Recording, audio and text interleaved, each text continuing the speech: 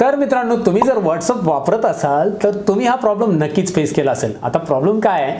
जर तुम्ही एखाद्याला मॅसेज करताय आणि कंटिन्यू मॅसेज करताय तर त्याने ते मॅसेज रीड केलेत की नाही हे तुम्हाला माहिती होत नाही कारण तुमच्याकडे ब्ल्यू टेक येत नाही. जोपर्यंत तो रीड करत नाही तोपर्यंत ब्ल्यू टेक येत नाही. हे असं जर तुमचा समज असेल तर मित्रांनो तुम्ही चुकताय कारण तुम्हाला माहिती असायला हवं की तुमच्या मित्राने किंवा मैत्रिणींनी ज्यांना पण तुम्ही मेसेज करताय त्यांनी एखादी सेटिंग्स केली असेल ती सेटिंग काय मी दाखवतो तुम्हाला व्हॉट्सअपमध्ये इकडे. तर तुम्ही सेटिंग्समध्ये गेलात व्हॉट्सअपच्या तर तिकडे रीड एक ऑप्शन असतं. ते जर त्यांनी अनचेक करून ठेवलेलं असेल तर तुम्हाला माहिती पडणारच नाही की त्याने तुमचा मेसेज वाचलाय की नाही वाचलाय. कारण तुम्हाला ब्ल्यूटिक येणारच नाही. त्याने मेसेज रीड केलेला असेल तरीही तुम्हाला कळणार नाही आहे की त्याने तुमचा मेसेज वाचलाय की नाही वाचलाय. कारण ब्ल्यूटिक येतच नाही मित्रांनो. कारण तो अनचेक आहे ना ऑप्शन तर अशा वेळेस तुम्हाला करायचं आहे काय? तुम्हाला माहिती करून घ्यायचं आहे की तुमचा मित्र तुमचे मेसेज वाचतोय आणि तुम्हाला इग्नोर करतोय हे तुम्हाला माहिती करून घ्यायचं असेल तर व्हिडिओ पूर्ण पाहायला हवा ना मित्रांनो. तर चला मी सतीश टेक चॅनलवरती तुमच्या सगळ्यांचं स्वागत करतोय. मोबाईल टिप्स अँड ट्रिक्सचा हा व्हिडिओ सुरू करूया.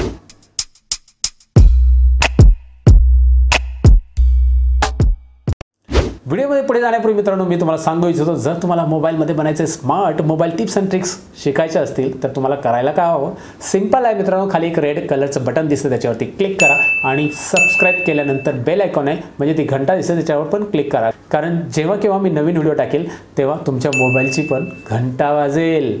चला सुरू करूयाचं टॉपिक तर मित्रांनो मी तुम्हाला सांगितलं की तुम्ही सेंड केलेला मेसेज ज्याला पण असेल तुमचा मित्र असू शकतो मैत्रीण असू शकते किंवा कुणी असू शकतं पण त्याला मॅसेज मिळाल्यानंतर त्यांनी रीड केला हे तुम्हाला माहिती होत नाही आहे याचं कारण त्याने रीड रिसिप्ट ऑप्शनला अनचेक केलेलं आहे. त्याने तिकडे तो ऑप्शन ती सेटिंग करून ठेवलेली आहे. मग अशा वेळेस तुम्हाला माहिती करून घ्यायचं असेल तर सिंपल आहे. तुम्ही तुमच्या व्हॉट्सअपमध्ये जा ज्याला आपण मेसेज सेंड करायचा तिकडे जा तुम्ही टेक्स्ट मेसेज सेंड करण्याऐवजी त्याला व्हॉईस मेसेज सेंड करा. व्हॉईस मेसेजमध्ये त्या माईकवरती टॅप करून ठेवा आणि काही मेसेज रेकॉर्ड करा किंवा रेकॉर्ड करूही नका. काही बोललं तरी चालेल नाही बोललं तरी चालेल.